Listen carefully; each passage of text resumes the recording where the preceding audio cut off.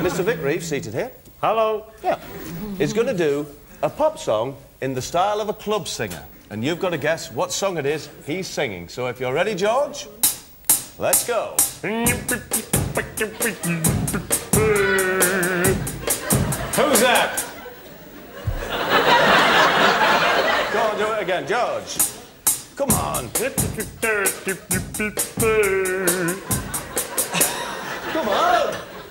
are you staring at me like that, Anna? Stop staring at me like that.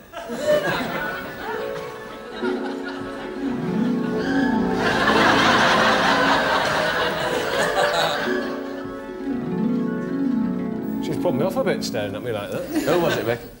It was Edwyn Collins with I've Never Known a Girl Like You Before. No, that, that was nothing Oh, like it at all. horses. Let's hear it sang properly.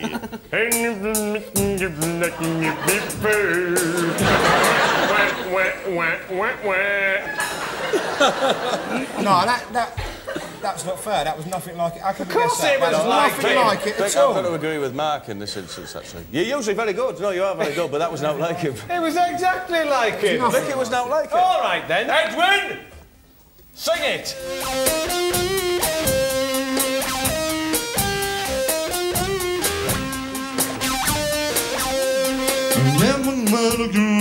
You.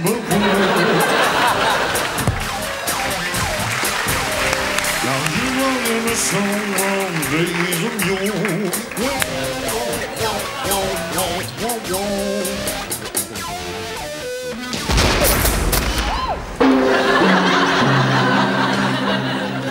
Oh no, the, the, the amplifier is it's faulty and defective, you know.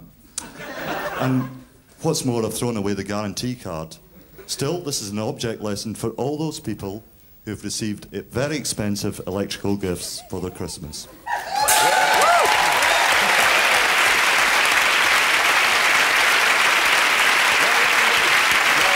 Thumbs up for that information there from Edwyn, and I think very wise words from a very wise pop singer. Now, that's the end.